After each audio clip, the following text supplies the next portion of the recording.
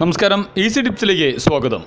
നിങ്ങൾ ഈ ചാനൽ ഇതുവരെ സബ്സ്ക്രൈബ് ചെയ്തിട്ടില്ലെങ്കിൽ സബ്സ്ക്രൈബ് ചെയ്യുക ബെൽ ബട്ടൺ ക്ലിക്ക് ചെയ്യുകയാണെങ്കിൽ പുതിയ പുതിയ അറിവുകൾ നിങ്ങൾക്ക് ആദ്യമേ ലഭിക്കാൻ സാധിക്കും. മനോഹരമായ പൂന്തോട്ടം ഇഷ്ടപ്പെടുന്നവരാണ് എല്ലാവരും. നാം പണിയെടുപ്പിച്ച ആ ചെറിയ വീടിന്റെ മുറ്റത്ത് മനോഹരമായ പൂച്ചെടികൾ കൊണ്ട് നിറയ്ക്കാനും എല്ലാവരും ആഗ്രഹിക്കും. നമ്മളൊരു പൂന്തോട്ടം നിർമ്മിക്കാൻ ഉദ്ദേശിക്കുമ്പോൾ തന്നെ നമ്മുടെ മനസ്സിൽ ആദ്യം വരുന്നത് ഹൃദ്യമായ മണം നൽകുന്ന വിവിധ നിറങ്ങളിൽ നമ്മെ കണ്ണഞ്ചിപ്പിക്കുന്ന റോസപ്പൂവിനെയാണ്. പൂന്തോട്ടത്തിലെ റാണി എന്നാണ് റോസാപ്പൂവ് അറിയപ്പെടുന്നത്. ഏതു പ്രായക്കാരും ഇഷ്ടപ്പെടുന്ന പൂവാണ് പനിനീർ പൂവ്. നമ്മുടെ നാട്ടിൽ മഴയുടെ ആ കാലം കഴിഞ്ഞാൽ നഴ്സറികളിലൊക്കെ റോസിന്റെ തൈകൾ വന്നു തുടങ്ങും. നിറയെ പൂക്കളായി നാം നഴ്സറിയിൽ നിന്നും വാങ്ങി വീട്ടിൽ കൊണ്ടുവയ്ക്കും. ആദ്യമൊക്കെ പൂവിടുമെങ്കിലും പിന്നീട് അതിൽ പല കേടുകൾ വരികയും പിന്നീട് പൂവിടാതെ ആവുകയൊക്കെ ചെയ്ത് ആ ചെടി നശിച്ചു പോകും. അടുത്ത സീസൺ വരെ നാം കാത്തിരിക്കുകയും വീണ്ടും പുതിയ ചെടികൾ കൊടുന്നു വയ്ക്കുകയാണ് പതിവ്. എന്നാൽ നമുക്ക് അല്പം ശ്രദ്ധയും ക്രമമായ പരിചരണവും നൽകുകയാണെങ്കിൽ നമുക്ക് പനിനീർ ചെടി നിറയെ പൂക്കളായി ഒരുപാട് കാലം നിലനിർത്താൻ സാധിക്കും. ഇന്നത്തെ വീഡിയോ റോസാപ്പൂ കുറിച്ചാണ് അതിന്റെ പരിചരണങ്ങളെക്കുറിച്ചാണ്. റോസാ ചെടി പൂച്ചട്ടിയിലും നിലത്തുമൊക്കെ നട്ടു വളർത്താം എവിടെയാണെങ്കിലും നല്ല സൂര്യപ്രകാശം ആവശ്യമാണ്. റോസാ ചെടി ചെടിച്ചട്ടിയിൽ നട്ടു വളർത്തുന്നതിനെ മണ്ണും മണലും ചാണകപ്പൊടിയും ചകിരിച്ചോറും എല്ലുപൊടിയും കൂട്ടിക്കലർത്തി ചെടിച്ചട്ടിയുടെ ഏകദേശം മുക്കാൽ ഭാഗത്തോളം നിറയ്ക്കണം. അതിലേക്കാണ് റോസയുടെ നടേണ്ട ഭാഗം വളർച്ചാ ഹോർമോണിൽ മുക്കി നട്ടുപിടിപ്പിക്കേണ്ടത്. ഈ വളർച്ചാ ഹോർമോണിന് പകരം കട്ടാർവാഴയുടെ ജെൽ പുരട്ടിയാലും നമുക്ക് റോസാ ചെടി പെട്ടെന്ന് വേര് പിടിപ്പിക്കാൻ സാധിക്കും. അതല്ലെങ്കിൽ ഒരു ചെറിയ കഷ്ണം കട്ടാർവാഴ എടുത്ത് അതിൽ റോസാ കമ്പ് നട്ട് അത് മണ്ണിൽ താഴ്ത്തി വെച്ചും നമുക്ക് ഇതിന് വേര് പിടിപ്പിക്കാം. ഇത് വേര് പിടിക്കുക മാത്രമല്ല പെട്ടെന്ന് തന്നെ കമ്പ് തളിർക്കാനും അതിൽ നിറയെ പൂക്കൾ ഉണ്ടാകുവാനും ഈ മാർഗം നമുക്ക് പരീക്ഷിക്കാവുന്നതാണ്. ഈ റോസാ കമ്പ് തളിർത്തു വരുന്നത് വരെ തണലത്ത് വെക്കണം. വെള്ളം ഇടയ്ക്കിടയ്ക്ക് തെളിച്ചു കൊടുക്കുക. റോസ തളിർത്തു വന്നതിന് ശേഷം മാത്രം വെയിലിലേക്ക് മാറ്റി വെക്കുക. ബെഡ് തൈകൾ വാങ്ങുമ്പോൾ തന്നെ ആവശ്യമില്ലാത്ത ഇലകളും മുട്ടുകളും നാം പറിച്ചു കളയാൻ ശ്രദ്ധിക്കണം. ഇത് ചെടിയുടെ വളർച്ചയ്ക്ക് ഏറെ ഗുണപ്രദമാണ്. ചെടിയുടെ ബഡ് ചെയ്ത ഭാഗം മനസ്സിലാക്കി. പുതിയ മുളകളും ശിഖരങ്ങളും ആ ഭാഗത്തു നിന്നുണ്ടായ ചിനപ്പിൽ നിന്ന് മാത്രമേ വളരാൻ നാം അനുവദിക്കാവൂ. ചിലപ്പോൾ ചുവട്ടിലുള്ള ആ കാട്ടുറോസിന്റെ കമ്പിൽ നിന്നും ചിനപ്പുകൾ ഉണ്ടായി വരും. ഇവ കാണുമ്പോൾ തന്നെ നാം നീക്കം ചെയ്യേണ്ടതാണ്. പൂവിട്ട് നിൽക്കുന്ന ചെടിയാണ് വാങ്ങുന്നതെങ്കിൽ കൂടുതൽ ചിനപ്പുകളും ശാഖകളും ഉണ്ടാകാൻ പൂവിന്റെ ഇതളുകൾ കൊഴിയുന്നതിന് മുൻപ് തന്നെ ആ കമ്പ് പ്രൂൺ ചെയ്യുന്നത് നല്ലതാണ്. റോസ് ചെടി നന്നായി പൂവിടുന്നതിന്റെ മെയിൻ ആയിട്ടുള്ള ഒരു കാര്യം റോസിന്റെ പ്രൂണിങ് അഥവാ കമ്പ് കോതലാണ്. പൂവ് കൊഴിയാറായ കമ്പ് പുറത്തേക്ക് വളർന്നു നിൽക്കുന്ന അഞ്ച് ഇലകളുള്ള മുട്ടിന് തൊട്ട് മുകളിൽ വെച്ച് മുറിച്ചെടുക്കണം.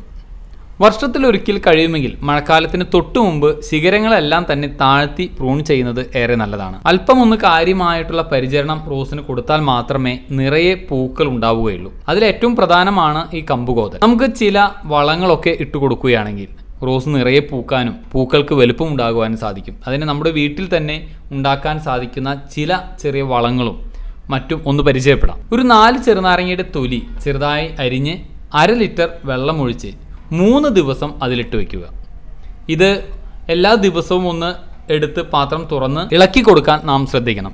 ഇങ്ങനെ മൂന്ന് ദിവസം കഴിയുമ്പോൾ അതിലേക്ക് ഒരു ആറ് ലിറ്ററോളം വെള്ളം ചേർത്ത് അതിലുള്ള നാരങ്ങാ തൊലിയൊക്കെ ഒന്ന് ഞെരടിപ്പിഴിയണം.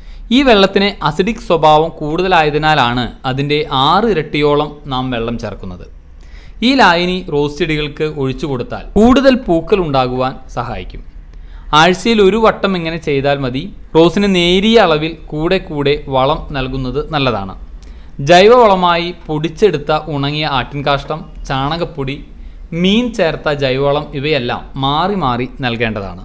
അതുപോലെ നമ്മുടെ അടുക്കളയിൽ നിന്ന് തന്നെ റോസിന് ഏറ്റവും ഉപകാരപ്രദമായ മറ്റൊന്നാണ് തേയിലച്ചണ്ടി മുട്ടത്തോട് ഉള്ളിത്തോലി ഇറച്ചി കഴുകിയ വെള്ളം അക്കൂറിയത്തിലെ വെള്ളം എന്നിവയെല്ലാം ചെടി നന്നായി വളരുന്നതിനും നന്നായി പൂക്കുന്നതിനും സഹായിക്കുന്ന ചില ഘടകങ്ങളാണ്. അതുപോലെ തേയിലച്ചണ്ടി മുട്ടത്തോട് പഴത്തുലി ഇവ മൂന്നും നല്ലവണ്ണം അരച്ച് വെള്ളം ചേർത്ത് റോസാ ചെടിക്ക് ഒഴിച്ചു കൊടുക്കുന്നത് നിറയെ പൂക്കൾ ഉണ്ടാകുവാൻ സഹായിക്കുന്ന ഒരു ജൈവ സ്ലറിയാണ്. ഇത് ഒഴിച്ചു കൊടുക്കുന്ന മൂലം തന്നെ നല്ല വലുപ്പത്തിലുള്ള പൂക്കൾ റോസിൽ നിറയെ ഉണ്ടാകും. നാം പലപ്പോഴും റോസ് വളർത്തുന്നു നിർത്താൻ കാരണം ഇതിന് ബാധിക്കുന്ന ചില രോഗങ്ങളാണ്. ഇലമുരടിക്കലാണ് ഏറ്റവും ഗൗരവമുള്ള കേടബാധ. പനിനീർ പൂക്കൾ ഇഷ്ടപ്പെടുന്നവർ പോലും ഈ ചെടി വളർത്താൻ മടിക്കുന്നത് തന്നെ ഈ കീടബാധ കാരണമാണ്. റോസിന്റെ ഇളം ഇല പൂമുട്ടുകൾ ഇവയിലാണ് ഈ ലക്ഷണങ്ങൾ പ്രധാനമായും ആദ്യം കാണുക. അതുപോലെ റോസ് ചെടി വെച്ചിട്ടുള്ളതിന് അടുത്ത് ബന്ദി മുതലായ ചില ചെടികളുണ്ടെങ്കിൽ ചെറു പ്രാണികൾ കൂടുതലായി അങ്ങോട്ട് വരാൻ സാധ്യതയുണ്ട്. അതുകൊണ്ട് ഇത്തരം ചെടികളുടെ അവിടെ നിന്നും റോസ് ചെടിയെ മാറ്റി നിർത്തേണ്ടത് ആവശ്യമാണ്. മറ്റൊന്ന് റോസിനെ ബാധിക്കുന്ന പ്രധാന കീടബാധയാണ് ശൽക്ക കീടബാധ ഇവ വെളുത്ത നിറത്തിൽ പൊറ്റ പോലെ റോസിന്റെ കമ്പുകളിൽ പറ്റിയിരുന്ന് ചെടിയുടെ നീര് ഊറ്റിയെടുത്ത് കമ്പുണക്കൽ രോഗമാണ് ഉണ്ടാക്കുന്നത്. ഈ ഉണങ്ങിയ കമ്പുകൾ നീക്കം ചെയ്ത ശേഷം മറ്റു കമ്പുകളിൽ പറ്റിയിരിക്കുന്ന ഭാഗങ്ങളിൽ പെയിന്റിംഗ് ബ്രഷ് ഉപയോഗിച്ച് സ്പിരിറ്റ് പൂശക വഴി ഇത് നിയന്ത്രിക്കാൻ സാധിക്കും. ഏതെങ്കിലും തരത്തിലുള്ള കുമ്മിൾ രോഗം കാണുകയാണെങ്കിൽ അസുഖം വന്ന ഇലകളും തണ്ടും മുറിച്ചു മാറ്റി നശിപ്പിച്ചു കളയുകയാണ് ചെയ്യേണ്ടത്. അല്ലെങ്കിൽ മറ്റ് റോസ് ചെടികൾക്കും ഈ ഫംഗസ് രോഗം പിടിപെടും. റോസ ചെടിയിൽ കാണുന്ന പ്രധാനപ്പെട്ട ഒരു കുമിൾ രോഗമാണ് ഇലകളിലെ കറുപ്പ് പൊട്ട്. ഇലകൾ മഞ്ഞ നിറത്തിലും അതിൽ കറുപ്പ് നിറത്തിലുള്ള പൊട്ടും കാണും. മഴക്കാലത്താണ് ഇത് കൂടുതലായിട്ടും ഈ അസുഖം കണ്ടുവരുന്നത്. ജലാംശം കൂടുതൽ കെട്ടി നിൽക്കുന്നതാണ് ഇത് ഉണ്ടാകുവാനുള്ള കാരണം. അതുകൊണ്ട് തന്നെ റോസാ ചെടിയുടെ ചുവട്ടിൽ വെള്ളം കെട്ടിക്കിടക്കുന്നത് ഒഴിവാക്കണം. ഇതിന് പ്രതിവിധി എന്ന് പറയാൻ രണ്ട് ടീസ്പൂൺ വിനാഗിരി ഒരു ലിറ്റർ വെള്ളത്തിൽ കലർത്തി റോസാ ചെടിയിൽ തളിച്ചു കൊടുക്കുക. നാല് ദിവസം കൂടുമ്പോൾ ഇങ്ങനെ ചെയ്യുക. രണ്ടാഴ്ചത്തേക്ക് ഇത് ചെയ്യുന്നത് തീർച്ചയായും കുമിൾ രോഗം വരാതിരിക്കുന്നതിന് സഹായിക്കും. ഒക്ടോബർ മുതൽ ഡിസംബർ വരെയുള്ള സമയമാണ് റോസ് നടുവാൻ ഏറ്റവും നല്ല സമയം.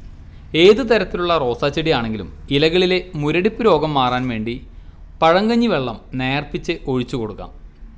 ഇത്രയൊക്കെ കാര്യങ്ങൾ ശ്രദ്ധിക്കുകയാണെങ്കിൽ വളരെ നന്നായി നമ്മുടെ വീടുകളിൽ റോസാ ചെടി വളരുകയും നിറയെ പൂക്കുകയും ചെയ്യും.